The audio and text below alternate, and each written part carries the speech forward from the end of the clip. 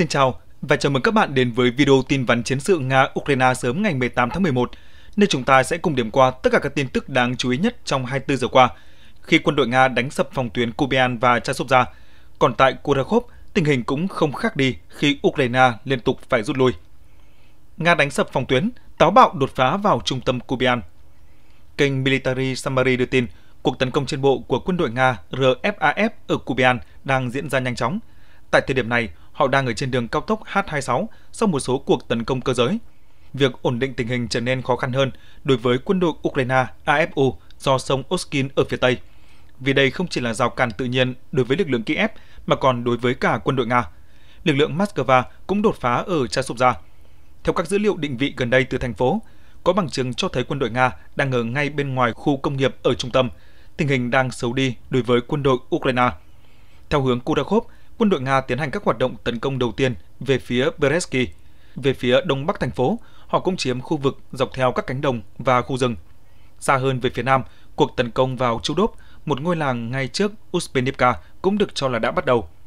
Kênh Ritovka xác nhận sự kiện nổi bật nhất trong tuần qua chính là cuộc đột phá táo bạo của Nga vào Kubian. Trong khi đó, lực lượng Kiev đang đối mặt với khó khăn lớn do nguồn dự trữ cạn kiệt việc đoàn thiết giáp quân đội Nga thần tốc tiến vào Kubian khiến đối phương bất ngờ. Lực lượng Moscow đã giành được chỗ đứng trong khu công nghiệp phía đông thành phố và đang cố gắng mở rộng đầu cầu. Cuộc chiến giành thành phố sẽ không hề dễ dàng, nhưng với những gì đã xảy ra, có thể nói Nga giành được thành công về mặt chiến thuật. Cuộc đột phá Kubiansky trở thành một vết tiêm đau đớn khác cho lực lượng Kiev.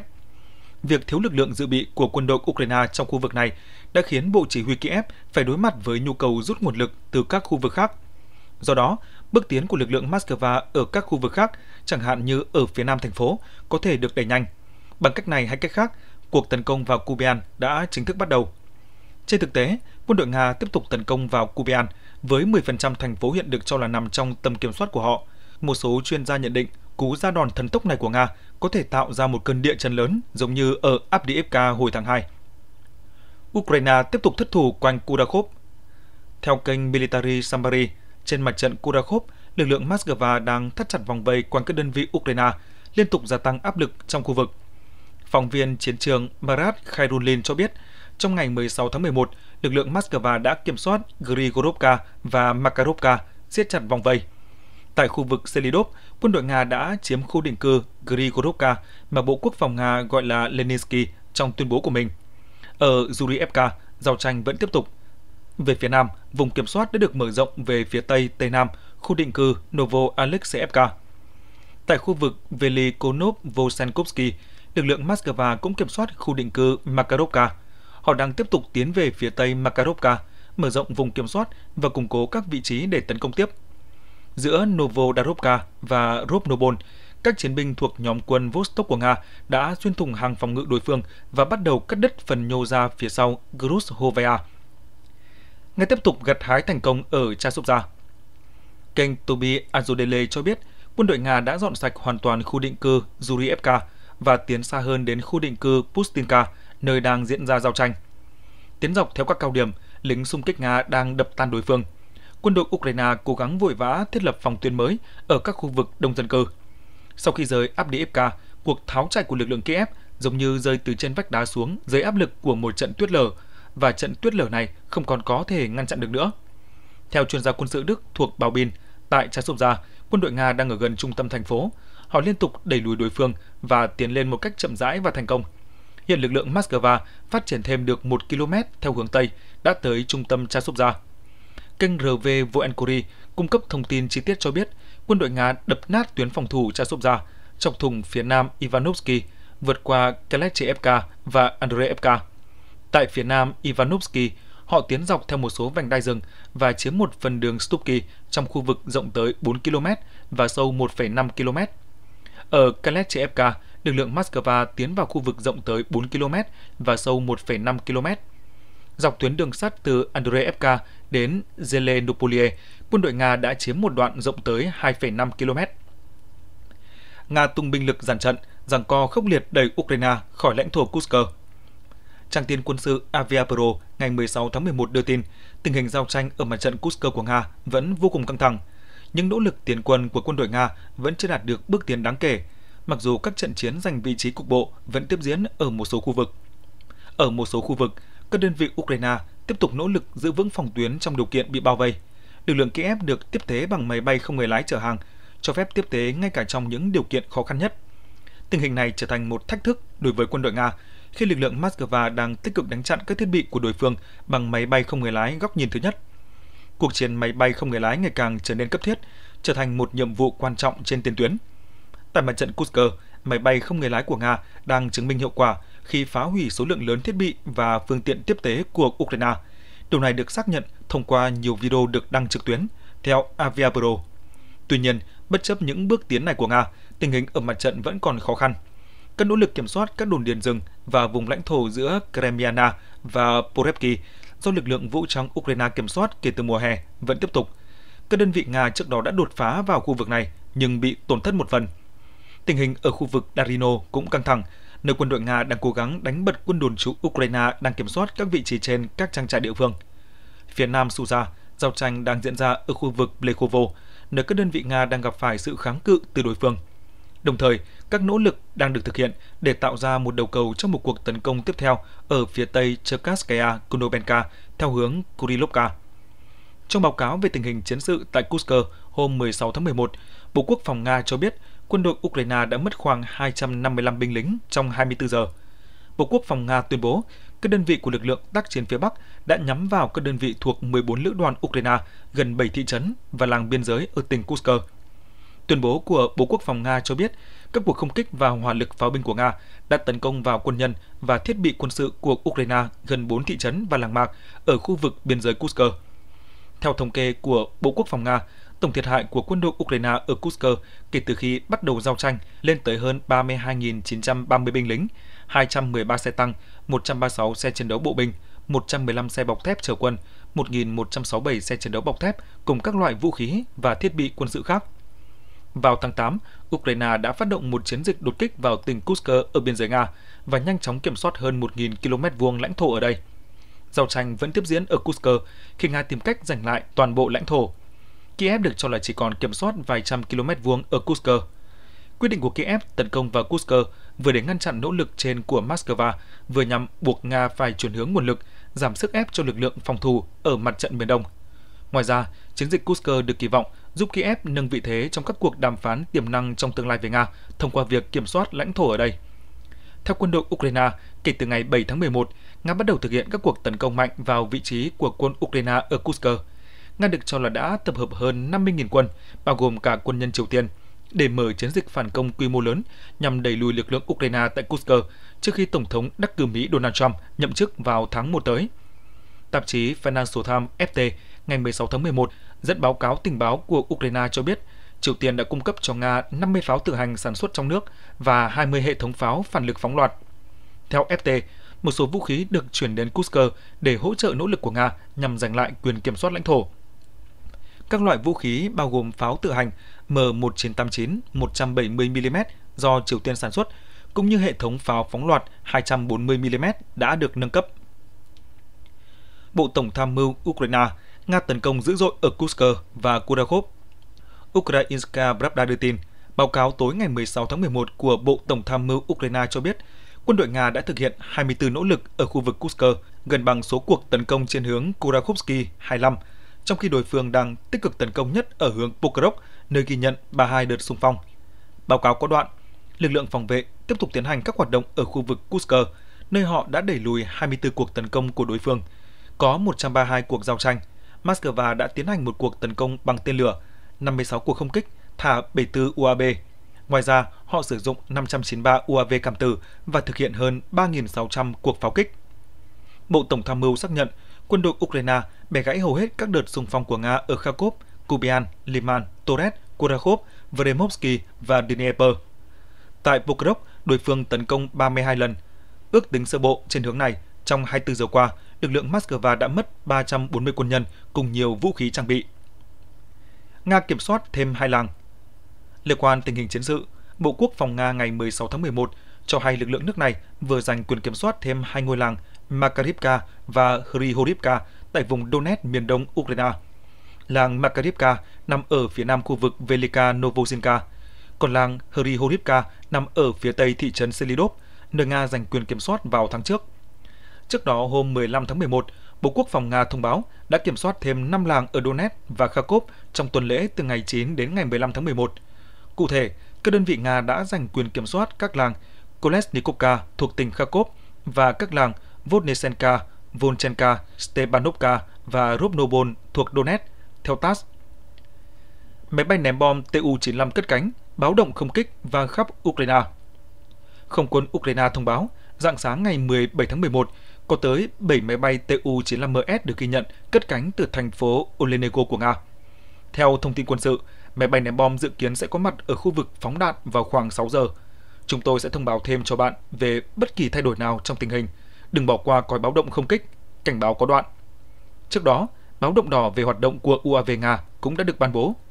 Cụ thể, trong tối qua, UAV tấn công của Nga đã được phát hiện trên lãnh thổ Ukraine từ hướng Bắc. Vào lúc 21 giờ 41 phút, cảnh báo không kích đã được ban bố ở Sumy, Poltava. Từ 22 giờ 16 phút đến 23 giờ 52 phút, UAV Nga hoạt động ở Sumy, Poltava, Cherkasy, Kiev, Kharkov và Vinnytsia.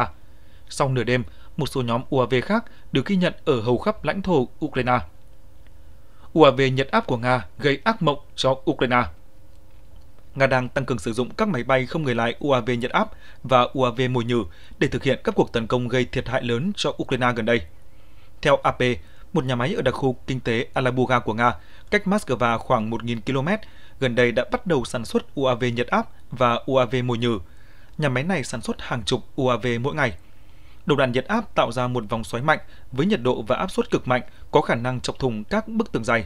Chúng tiêu thụ hết lượng oxy ở khu vực lân cận, để lại tác động tàn khốc hơn một vụ nổ, gây ra những thương tích nghiêm trọng như tổn thương phổi, chấn thương mắt và chấn thương não. Ngoài ra, một nguồn tin thạo tin tiết lộ, vào cuối năm 2022, Nga đã nghĩ ra chiến lược mùi nhử mang tên chiến dịch mục tiêu giả.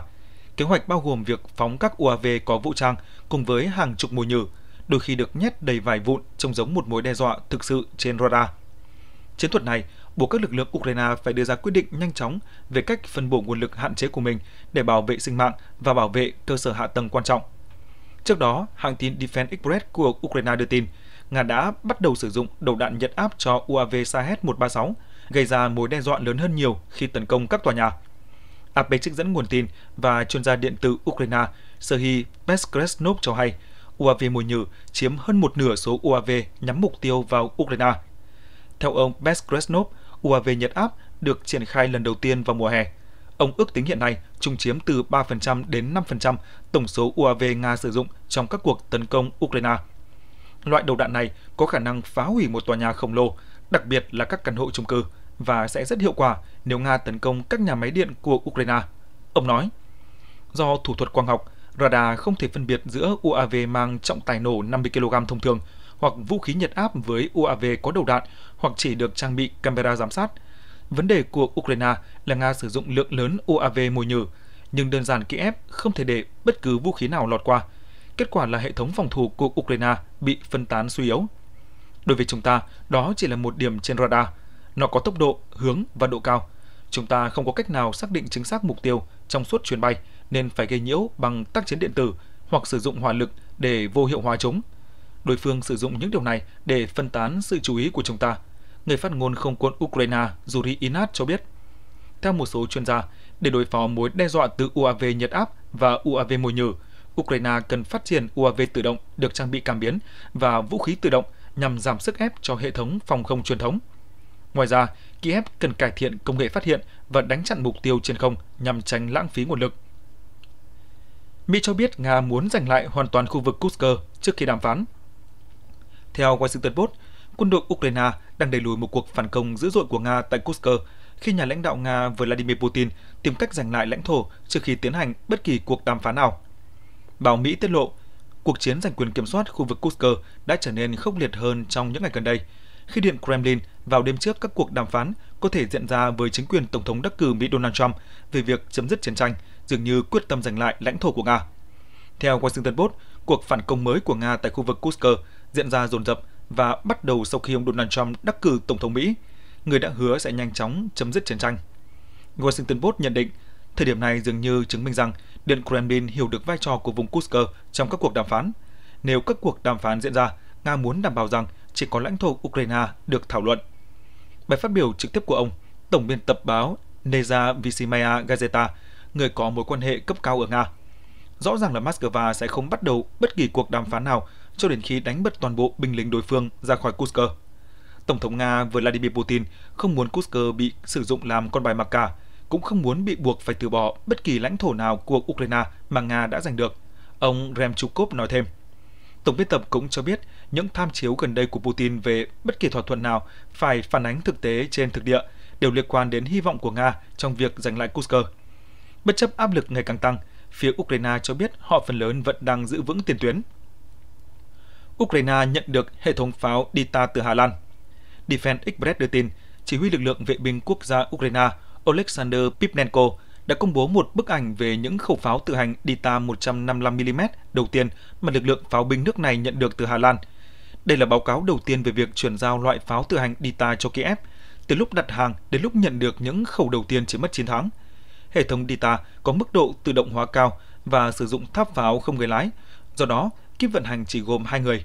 Pháo có tầm bắn lên tới 39 km, tốc độ bắn là 5 phát một phút và Dita có thể rời khỏi vị trí bắn trong vòng 45 giây.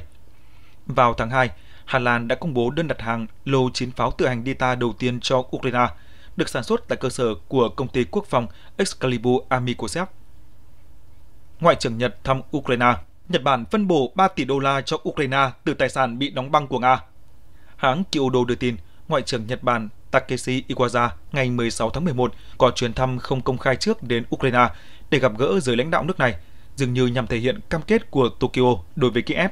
Ông Iwaza thăm Ukraine sau khi đến Peru để tham dự một cuộc họp kinh tế khu vực, đánh dấu chuyến đi đầu tiên của một bộ trưởng Nhật đến Ukraine kể từ khi Thủ tướng Nhật Ishiba Shigeru nhậm chức vào tháng trước.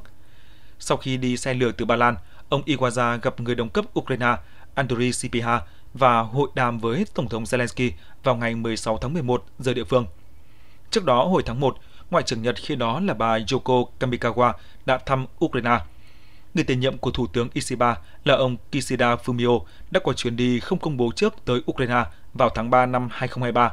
Hiện Nhật Bản là quốc gia châu Á viện trợ lớn nhất cho Ukraine. Lầu Năm Góc tiết lộ số tiền Mỹ viện trợ cho Ukraine. Trong khi chính quyền của Tổng thống Mỹ Joe Biden duy trì cam kết cung cấp hỗ trợ tài chính và quân sự cho Ukraine tới chừng nào cần thiết, vẫn có những lo ngại về nguy cơ Washington cắt viện trợ sau khi Tổng thống đắc cử Donald Trump tuyên thệ nhậm chức vào đầu năm sau. Theo báo cáo của Tổng thanh tra Lầu Năm Góc công bố hôm 14 tháng 11, Quốc hội Mỹ đã phân bổ gần 183 tỷ đô la Mỹ cho Ukraine kể từ khi xung đột với Nga nổ ra hồi tháng 2 năm 2022. Trong tổng số khoản viện trợ trên, khoảng 131,36 tỷ đô la Mỹ đã được chuyển cho các hoạt động liên quan đến an ninh, trong đó bao gồm 45,6 tỷ đô la Mỹ dành cho việc tăng cường sự hiện diện của quân đội Mỹ tại châu Âu và gần 46 tỷ đô la Mỹ để thay thế vũ khí được cung cấp cho Ukraine. Ngoài ra, gần 44 tỷ đô la Mỹ được phân bổ cho các chương trình quản lý, bao gồm cả tiền lương cho các công chức Ukraine và 4 tỷ đô la Mỹ cho viện trợ nhân đạo. Cơ quan phát triển quốc tế Mỹ USAID đã phân bổ 3,9 tỷ đô la Mỹ hỗ trợ ngân sách trực tiếp bổ sung cho Ukraine. Đây là một phần của khoản bổ sung trị giá hơn 7,8 tỷ đô la Mỹ được phê duyệt vào tháng 4. Khoản hỗ trợ ngân sách này tạo điều kiện cho các hoạt động đang diễn ra của chính phủ và cung cấp các dịch vụ thiết yếu tại Ukraine. Khoản tài trợ bao gồm tiền lương cho công chức và nhân viên trường học ở Ukraine. Ngoài ra, còn có tiền hỗ trợ cho những người phải di rời trong nước, cho các gia đình có thu nhập thấp cũng như trợ cấp nhà ở và tiện ích. Theo báo cáo trên, Mỹ đã cung cấp một loạt các thiết bị quân sự cho Ukraine, bao gồm xe bọc thép, đạn dược, vũ khí, pháo binh. Các gói viện trợ đặc biệt bao gồm xe chiến đấu Bradley, loại xe mà quân đội Ukraine ưa chuộng hơn xe tăng Abrams. Đồng thời, các chuyên gia bảo dưỡng của Mỹ tiếp tục hỗ trợ từ xa thông qua các kênh liên lạc an toàn. Trong khi đó, bất kể sự hỗ trợ tài chính và quân sự dành cho Ukraine có gia tăng hay không, Moscow vẫn đặt mục tiêu hoàn thành các mục tiêu an ninh quốc gia trong cuộc xung đột này. Bộ trưởng Quốc phòng Ukraine tuyên bố sẽ giành lại toàn bộ lãnh thổ gồm cả vùng Nga đã sắp nhập. Toàn vẹn lãnh thổ là một phần trong các giá trị của chúng tôi. Bộ trưởng Quốc phòng Ukraine Rustem Umerov phát biểu trong một cuộc họp báo chung với người đồng cấp Na Uy tại Oslo hôm 15 tháng 11. Ông Umerov khẳng định bất kỳ tuyên bố nào cho rằng Ukraine đang chuyển trọng tâm trong cuộc chiến để ưu tiên an ninh hơn lãnh thổ đều là sai sự thật. Bộ trưởng Quốc phòng Ukraine cho rằng đây là một phần nỗ lực tuyên truyền của Nga. ưu tiên của chúng tôi vẫn là bảo vệ người dân, bảo vệ đất nước, để Crimea và Donbass là một phần của Ukraine, ông Umerov nhấn mạnh. Theo báo Washington Post, các thành viên châu Âu của NATO ngày càng tin tưởng vào một kết thúc cho cuộc xung đột Nga-Ukraine sẽ liên quan đến việc Kiev phải nhượng bộ lãnh thổ, mặc dù Ukraine đến nay vẫn phản đối. Một số quốc gia châu Âu đang phải trải qua một sự thay đổi thầm lặng, nhưng ngày càng tăng, hướng tới một lệnh ngừng bắn giữa Nga và Ukraine. Theo đó, Nga sẽ kiểm soát một số lãnh thổ mà Ukraine tuyên bố chủ quyền, đồng thời phương Tây sẽ đưa ra cho Kiev một số cam kết an ninh. Theo nguồn tin này, các cuộc thảo luận kín của phương Tây được thúc đẩy bởi tình hình chiến trường ảm đạm đối với Ukraine và viễn cảnh nguồn tài trợ của Mỹ cạn kiệt khi Tổng thống đắc cử Donald Trump nhậm chức vào tháng 1 tới. Chính quyền của Tổng thống Ukraine Volodymyr Zelensky từ lâu khẳng định rõ quan điểm không nhượng bộ về lãnh thổ để đổi lấy hòa bình với Nga. Theo Tổng thống Zelensky, tính đến cuối tháng 8, Nga đã kiểm soát khoảng 27% lãnh thổ Ukraine. Các tỉnh ở vùng Donbass gồm Donetsk, Lugan, Kherson và Zaporizhia ở Ukraine được quân đội Nga kiểm soát một phần. Nga tuyên bố đã sáp nhập toàn bộ lãnh thổ của các khu vực này, mặc dù không kiểm soát hoàn toàn. Moscow cũng kiểm soát toàn bộ bán đảo Crimea ở phía nam Ukraine sau khi sáp nhập khu vực này vào năm 2014. Nga đã kêu gọi quân đội Ukraine rời khỏi các vùng lãnh thổ này như một điều kiện để đàm phán hòa bình. Tuy nhiên, Kiev đã bác bỏ đề xuất này. Nga phản hồi kế hoạch 10 điểm của Tổng thống Ukraine. Ông Vladimir Rogov, quan chức phòng xã hội Liên bang Nga, cho rằng kế hoạch phục hồi do Tổng thống Zelensky công bố chỉ là hình thức để thu hút sự chú ý của truyền thông. Mới đây, Tổng thống Zelensky đã trình bày kế hoạch chiến thắng và bây giờ ông ấy lại đưa ra kế hoạch phục hồi. Tuy nhiên, thực tế thì đó không phải là một tuyên bố, mà chỉ là nỗ lực để duy trì sự chú ý của truyền thông, để lặp lại những tuyên bố khoa trương trước đây của ông ấy trên các phương tiện truyền thông, mặc dù tình hình không thay đổi theo hướng có lợi cho ông ấy qua từng ngày, đặc biệt là tình hình ở tiền tuyến. Ông Rogov nói với hãng tin TASS hôm 15 tháng 11. Tổng thống Zelensky ngày 14 tháng 11 thông báo kế hoạch phục hồi nội bộ của Ukraine sẽ bao gồm 10 điểm và dự kiến sẽ được công bố vào tuần tới. Kế hoạch bao gồm các vấn đề về an ninh, năng lượng, vũ khí, phát triển công nghiệp ở Ukraine và hợp tác với các đối tác. Ông Zelensky giải thích kế hoạch tập trung vào việc khai thác năng lực nội tại của Ukraine để giành chiến thắng, để chúng ta có thể tuyên bố đúng từ chiến thắng. Tổng thống Zelensky đặc biệt chỉ ra vấn đề chủ quyền văn hóa, trong đó có quy định về sản xuất nội dung của Ukraine. Nếu chúng ta xem xét kỹ hơn các điều khoản này, chúng ta thấy rằng trọng tâm là chủ quyền văn hóa. Ông ấy sẽ truyền bá sản phẩm bằng tiếng Ukraine ở đâu, khi ngôn ngữ này ngày càng bị người dân ở các vùng lãnh thổ do Kiev kiểm soát từ chối. Ông Rogov nói. Igor Kostyukevich, thư ký văn phòng Đảng nước Nga thống nhất của khu vực Kherson, nói với hãng tin TASS rằng Tổng thống Zelensky tốt hơn hết nên nghĩ đến việc lập một kế hoạch thực tế hơn với tình hình hiện tại của mình, tức là một kế hoạch đầu hàng. Ông ấy không cần 10 điều khoản mà chỉ cần một điều khoản là đủ. Ông Kostyukevich nói. Vào cuối tháng 10, ông Zelensky đã chỉ thị cho Hội đồng An ninh và Quốc phòng Ukraine chuẩn bị một kế hoạch nhằm củng cố năng lực nội tại của Kiev ở tiền tuyến, tổ hợp công nghiệp quân sự, kinh tế và tài chính, phát triển khu vực và các lĩnh vực chiến lược khác. Kế hoạch mới nhất của chính phủ Ukraine sẽ tập trung vào các giải pháp nội bộ và không phải là giải pháp thay thế cho kế hoạch chiến thắng mà Kiev đưa ra trước đó, vốn tập trung vào việc các đồng minh phương Tây có thể giúp đỡ Ukraine thế nào để thắng Nga.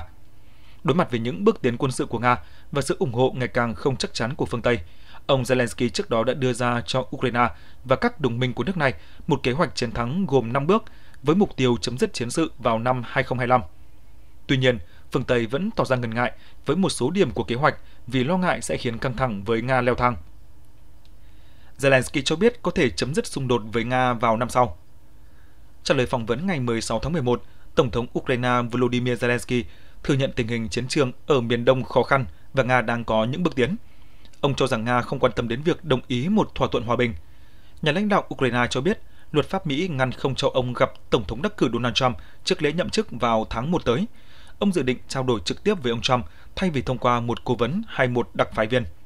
Ông cũng nhấn mạnh, về phía chúng tôi, chúng tôi phải làm mọi thứ để cuộc chiến này kết thúc vào năm tới thông qua các biện pháp ngoại giao. Tổng thống Zelensky mong đợi sự hỗ trợ từ Tổng thống đắc cử Mỹ Donald Trump trong trường hợp có các cuộc đàm phán giữa Kiev và Moscow. Ông cho hay một Ukraine mạnh là nền tảng của các cuộc đàm phán đó. Nếu chúng ta đối thoại với Nga trong tình trạng hiện tại, thì Ukraine sẽ mất vị thế ngay từ đầu. Những cuộc đàm phán sẽ vô nghĩa nếu chúng ta rơi vào thế yếu. Lập trường của ông Trump rất quan trọng, thái độ của Mỹ với Ukraine rất quan trọng. Hôm nay họ đứng về phía Ukraine, điều này vô cùng quan trọng, ông bình luận. Trước đó, ông Zelensky cũng bày tỏ tin tưởng rằng xung đột sẽ chấm dứt nhanh chóng hơn nhờ chính sách từ chính quyền sắp tới của ông Trump. Chắc chắn rằng xung đột sẽ kết thúc sớm hơn với chính sách của những người sắp điều hành Nhà Trắng. Đó là cách tiếp cận của họ, cam kết của họ với người dân. Xung đột sẽ kết thúc, nhưng chúng tôi không biết ngày chính xác, Tổng thống Zelensky nói trong một cuộc phỏng vấn công bố hôm 15 tháng 11. Xung đột Nga-Ukraine kéo dài gần 3 năm với tổn thất lớn cho cả hai bên. Tổng thống đắc cử Mỹ Donald Trump nhiều lần tuyên bố có thể chấm dứt cuộc chiến này trong vòng 24 giờ sau khi đắc cử. Nga và Ukraine đều đang nỗ lực để giành vị thế tốt hơn trong bất cứ cuộc đàm phán tiềm tàng nào trong tương lai. Điều này khó khăn hơn với Kiev do Nga liên tục đạt được bước tiến trên chiến trường. Tổng thống Zelensky cho biết việc luân chuyển ở tiền tuyến không thể diễn ra nếu các lữ đoàn dự bị của Ukraine không được trang bị vũ khí và trang thiết bị. Đây là lý do tại sao những người lính ở tiền tuyến buộc phải rút lui do họ mệt mỏi và do sự tiến công của Nga. Họ mệt mỏi, họ rút lui, họ đang bị tấn công bằng bom và họ kiệt sức. Các chỉ huy đã cho phép họ rút lui, bởi vì theo quan điểm của chúng tôi, con người là trên hết, sau đó mới đến lãnh thổ. Ông nói. Tổng thống Zelensky lưu ý thêm, khi họ rút lui, một lữ đoàn được trang bị tốt sẽ thay thế, sẵn sàng cho cuộc tấn công sắp tới. Chúng tôi đã có thỏa thuận về số lượng các lữ đoàn này, nhưng việc bố trí nhân sự rất chậm.